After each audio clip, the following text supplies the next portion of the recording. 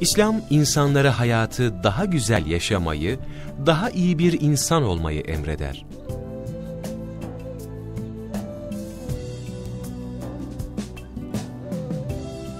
Lida'da İslam'da onun dikkatini çeken ve İslam'a ilgi duymasına vesile olan olayı bakın nasıl anlatıyor.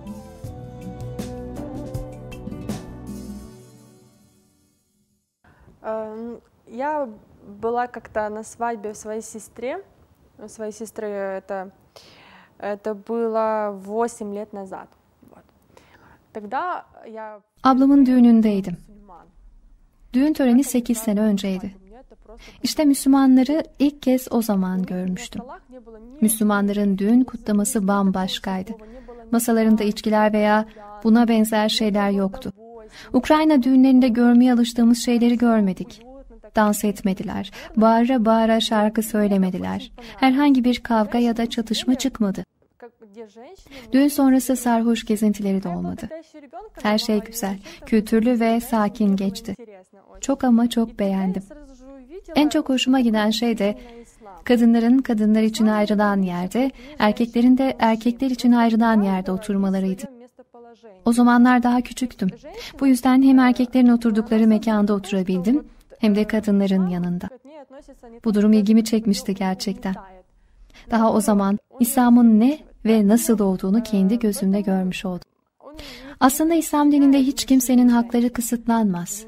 Ne kadın hakları çiğnenir ne de erkek hakları. Sadece herkesin belli bir yeri vardır. İslam'a göre kadın öyle yaratılmıştır ki onun hayatımızdaki rolü asla küçümsenemez. Aksine İslam kadını yüceltir. İşte bu yüzden İslam erkekle kadını ayrı tutar. Ama hiç kimsenin hakkı ihlal edilmemiştir. İslam dininde erkeğe önemli haklar verildiği gibi kadına da aynı şekilde bu haklar verilmiş. Hepimiz bunu bilmeliyiz. Duyduğuma göre Avrupa'da yaşayan Müslüman kadınlar büyük başarılar elde edebilmiş. Mesela İngiltere'de bakanlardan biri kadın ve aynı zamanda Müslümanmış. Bu iş erkeklerin yapamadığından değil, sadece kadın oluşunun ona getirdiği hakların kısıtlanmayışından böyle bir konuma ulaşabilmiş. İslam'la buluşunca çok farklı şeyler gördüm ve öğrendim. Tabii beni büyük bir merak sardı. Kafamda bir sürü soru işareti oluştu. Sormak istediklerimi çevremdeki Müslüman kardeşlere sormaya başladım.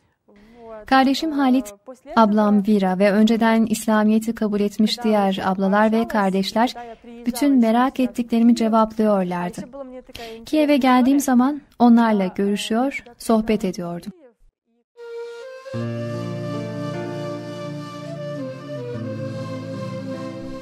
İslam gazaba uğratmadan, sapkınlığa düşürmeden, kulu doğru yola ileterek, saadet ve selametin feyizli kucağında Allah'ın sonsuz nimetlerine mazhar kılar.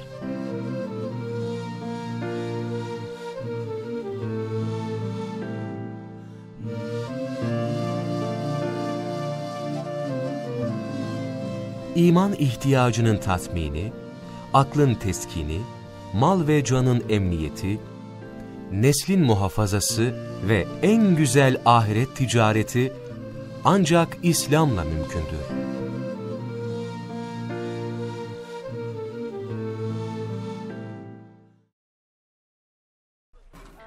Aslında Kiev yolculuklarımla ilgili güzel anılarım var.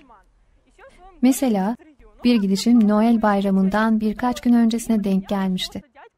Bilindiği gibi Noel bayramı Hristiyanlar için çok önemli bir bayram.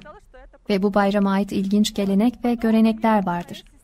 Mesela bayram öncesi gecenin geç saatlerine kadar Kolyatka diye şarkılar söylenir. Kolyatka, din içerikli bir halk şarkısıdır. Bu şarkılarda Hazreti İsa'nın doğuşu anlatılmakta.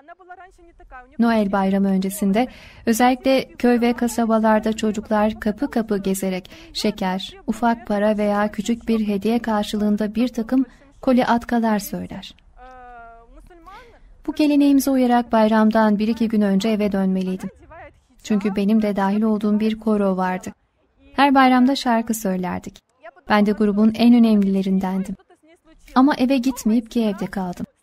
Nedeni de ablamla eniştemin beni oraya gitmekten vazgeçirmesiydi. Eniştem Halit bana hep oraya gitmene gerek var mı? Gidip de ne yapacaksın diye soruyordu. Ben de ama Hazreti İsa'nın doğum günü geliyor. Bu büyük bir bayramdır. Bir araya gelip kolyatka söylemek bizim geleneğimizdir diye yanıtlıyordum. Ama eve gitmedim. Açıkçası çok üzülmüştüm. Daha doğrusu darılmıştım. Bir de ben olmadan nasıl olur, nasıl şarkı söylerler diye düşünmüştüm. Geleneklerimize köken ve anlamlarını tam olarak bilmediğim halde ben de herkes gibi bazılarını uyguluyordum. Ama niçin bu geleneklere uymamız gerektiğini anlamazdım. Tam bunu düşünürken Halit bana gel seninle bir anlaşma yapalım. Sen Kur'an'ın surelerinden üç tanesini öğren, ben de sana şeker vereceğim diye önerdi. Az önce dediğim gibi Noel bayramında şarkı söyleyen çocuklara değişik tatlılar ikram edilir. Ben de henüz küçük olduğum için tatlıyı çok severdim. Yani Halit bana, sen İhlas, Felak ve Nas surelerini öğrenmeye çalış, ben de tatlı alıp sana vereceğim dedi. Ben de, tamam anlaştık diye yanıtladım. Neyse bu üç sureyi ezberledim. Halit ise bana tam iki kilo tatlı verdi.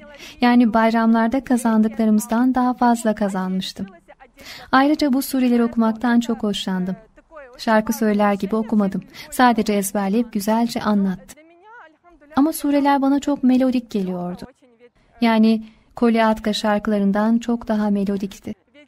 Daha dünmüş gibi aklımda. Halit'in bana verdiği sureleri hayatım boyunca hiç unutamayacak kadar ezberledim. Bundan sonra Kur'an-ı Kerim'i düşünerek okumaya ve ablamı okuduklarımla ilgili soru sormaya başladım. Ablam Olga ise bana bu surelerin manalarını anlattı, tefsirlerini de okudu. Aklıma bir sürü soru geliyordu. Ablama bu sorularımın hepsini soruyordu.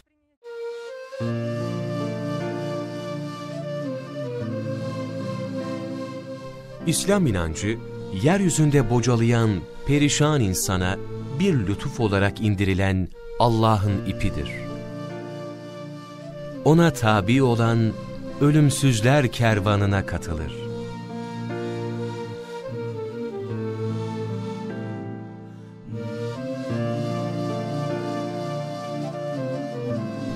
insanı yüceltecek olan kulluk hususiyetinin en güzel tezahürü teslimiyetle mümkündür.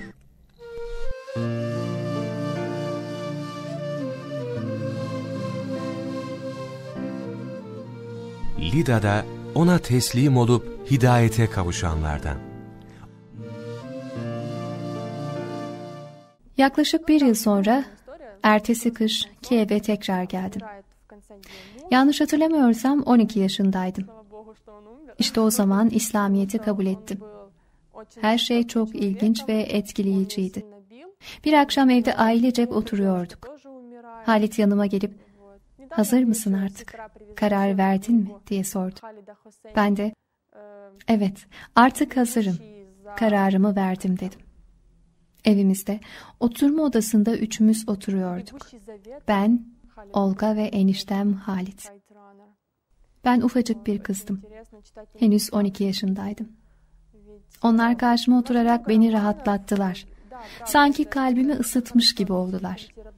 Ve ben sonunda Eşhedü en la ilahe illallah ve eşhedü enne Muhammeden abduhu ve resuluhu.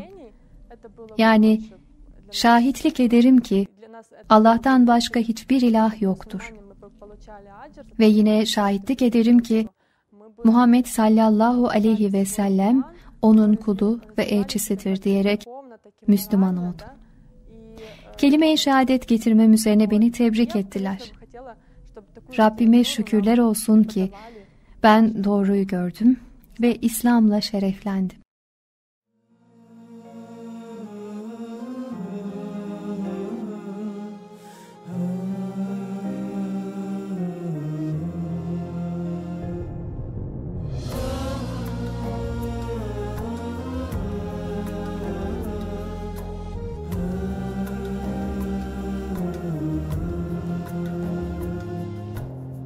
sensin gökleri ve yeri yoktan var eden.